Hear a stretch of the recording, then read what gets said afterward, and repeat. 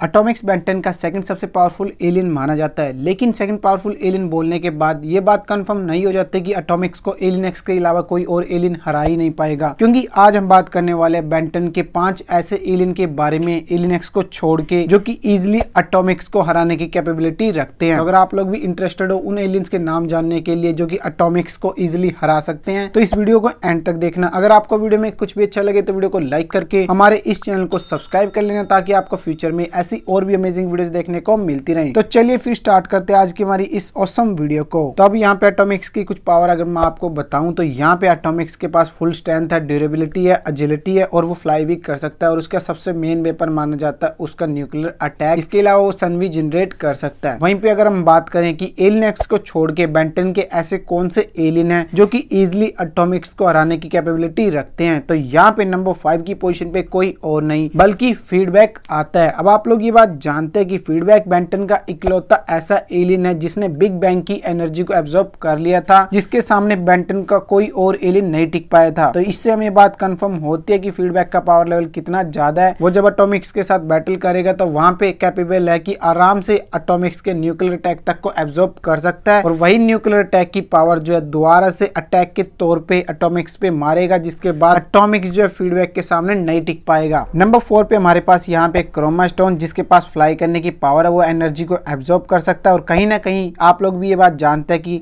अभी तक क्रोमास्टोन की फुल पावर को बेंटन के शो में रिवील ही नहीं किया गया। यहाँ पे क्रोमास्टोन का पावर लेवल काफ़ी ज़्यादा है, वो काफ़ी सारी एनर्जी को एब्जॉर्ब कर सकता है और दूसरे ओपोनेंट्स पे अटैक कर सकता है। उसका स्ट्रेंथ लेवल भी काफ़ी ज़्यादा है और अगर क्रोमास्टोन वर्सेस अटोमिक्स की बैटल होती है तो यहाँ पे गाइस क्रोमास्टोन जो है अपनी पावर्स का यूज़ करके आराम से कैपेबल है कि वो अटोमिक्स को हरा सके, क्योंकि यहाँ पे गाइस उससे बस उसके न्यूक्लियर अटैक से बचना है और क्रोमास्टोन की स्पीड काफ़ी ज़्यादा है, जिससे वो इजिली न्यूक्लियर अटैक से बच सकता है और यहाँ पे अटोमिक्स को हराने की कैपेबिलिटी भी रखता है। क्योंकि हम ये बात जानते हैं कहीं ना कहीं अटोमिक्स जो है काफ़ी जल्दी थक जाता है। लेकिन यहाँ पे क्रोमास्टोन जल्दी नहीं थकता। नंबर थ्री पे हमारे पास यहाँ पे है वेविग आप लोग जानते हैं वेविग बेंटन का सबसे जाइंट एलियन है, जिसके पास कॉस्मिक पावर्स है। यहाँ पे उसकी हाइट की वजह से उसका स्ट्रेंथ लेवल आप लोग जानते हैं, काफ़ी ज़्यादा बढ़ जाता है। तो अगर वेविक की बैटल होती है अटोमिक्स के साथ तो मैं आपको बता दू की वेविक बेंटन का ऐसा एलियन है जो की इजिली एक प्लेनेट तक को डिस्ट्रॉय कर सकता है, जबकि अटोमिक्स अपने न्यूक्लियर अटैक का यूज़ करके एक प्लेनेट को नहीं, बल्कि एक सिटी तक को डिस्ट्रॉय कर सकता है, जिससे हमें बात कंफर्म होती है कि इन दोनों करेक्टर सेक्टर में अटोमिक जो फास्ट अटैक करता है, लेकिन अगर वेविक अटैक से बच के अटैक करने से पहले ही अटोमिक्स को हरा देता है तो यहाँ पे वेविक जो है इजिली अटोमिक्स को हराने की कैपेबिलिटी रखता है।